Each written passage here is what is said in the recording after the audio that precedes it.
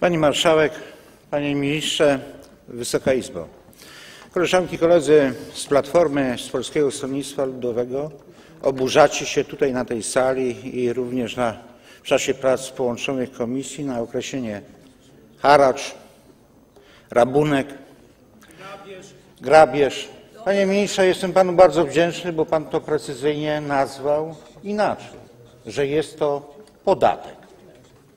Panie ministrze, w związku z tym, że jak pan powiedział, jest to podatek, proszę powiedzieć, jak to się dzieje i dlaczego tak się to dzieje, że w ciągu roku podatkowego dokonuje pan zmian w podatkach, w wysokościach podatku. Panie ministrze, czy nie obawia się pan Trybunału Konstytucyjnego, bo ma pan bankowo pewne, że ta ustawa, a zostanie pewno uchwalona, znajdzie się w Trybunale Konstytucyjnym. Panie ministrze, proszę mi powiedzieć, w jaki sposób ten dodatkowy dochód budżetu państwa, podatkowy dochód budżetu państwa zostanie podzielony. Czy samorządy wojewódzkie będą partycypować i w jakim procencie i które? Czy powiaty będą partycypować w tym, dochod, w tym podatku, w tym dochodzie i które, w jakiej wysokości?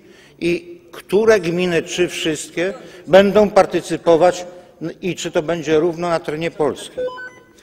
Panie ministrze, za dwa lata ma być zgodnie z tą ustawą wprowadzony podatek obrotowy. Proszę powiedzieć tutaj Wysokiej Izbie, nam wszystkim, czy być może Pan przygotowuje, przygotowuje, pracuje Pan jako nowy minister, sprawny, dbający o finanse państwa, podatek obrotowy od innych podmiotów?